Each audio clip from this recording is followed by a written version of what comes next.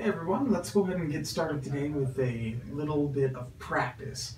So yesterday we were talking a lot about like populations, about samples, about data, and we kind of went through the definitions of some of those pieces of vocab, but let's give ourselves an example problem, uh, something that we can actually try uh, to, to break down ourselves.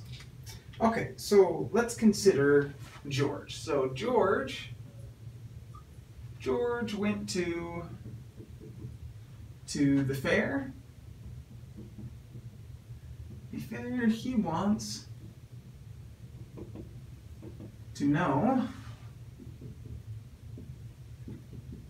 the average um, number of calories per treat. So at our carnival, we're going to have, you know, elephant ears, funnel cakes, all sorts of yummy fried goodness. Uh, and so let's let's go ahead and break this down. So George, he wants to know what's the average number of calories per treat. Now let's suppose that this fair is really big, and the number of treats and options that you could have are quite large. You know, um, let's say a thousand different options if you to go to all the vendors.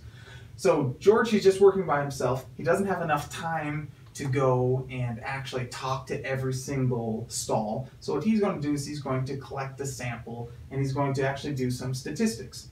So let's break it down to figure out all of these different parts. Let's start off with the population. So in this example, the population would be all um, all fair all treats at this fair. Okay, we're looking for all of the treats. So the sample, this would be a representative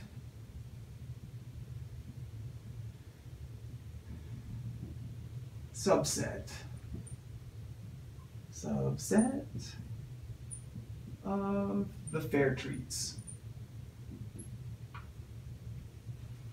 Okay, so he would have to go out and find, uh, you know, maybe he goes and talks to 10 of the vendors and he samples 100 different treats. Let's, let's say 100 treats.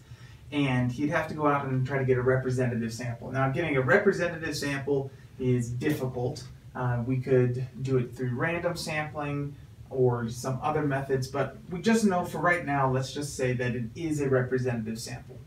Okay, so after he goes and does that, we need to know okay, what is, let's go with orange, what is the variable? Okay, so the variable here would be the number of calories per treat. So we'll put in number of calories per treat. That's the variable that he's interested in. Um, but specifically, he's really interested in this parameter. And the parameter here is the true average number of calories per treat at this fair. So this would be the total number of treats, or the, the total, sorry, this is the true average number of calories per treat at the fair. So this is talking about the population. But this would be really hard to do. George would have to go and, and sample every single treat at the fair. That would probably take too much time and too much money, and he would probably get way too fat if he ate that much. So what he can do is he can go take a sample, and from the sample, he can get a statistic.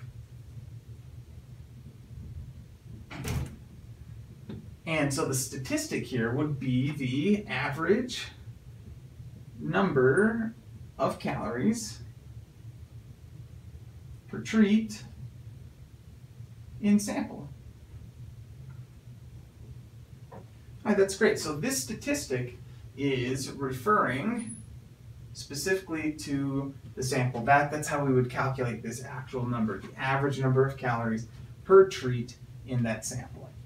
So let's do one more. So the last thing that we want to make sure that we know is what would the data be in this example? So the data would be all calorie cal per treat that George collected.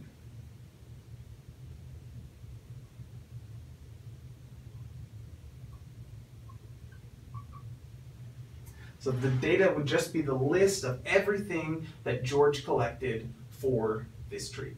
So once again, George is going to the fair. He wants to know the average number of calories per treat at the entire fair. So the population would be all treats from the fair. The sample would be this representative subset of the fair treats. Maybe you went out and sampled 40 or something. The variable would be the number of calories per treat. The parameter that, we, that he's interested in is the true average number of calories per treat at the fair. The statistic that he would calculate would be the average number of calorie per treat in his sample. So remember, there's only like 50 in there. And the data would be, for example, that list of 50 treats that he sampled and the number of calories for each of them. So hopefully this helps out. I think that there are some homework problems that are similar to this. Hopefully this helps out. Good luck.